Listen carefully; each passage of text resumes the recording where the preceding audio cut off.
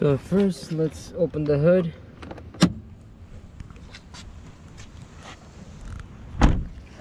So to open it, there's a latch. And you just open it. I'll show you how it's done. Right there, there's the light bulb. First you want to do is either use a screwdriver or a hand and push right here and pull it down. First you have screwdriver and then you pull it down just like that.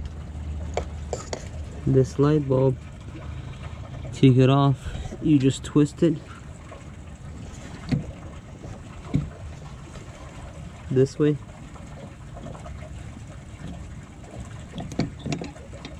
Then it comes off.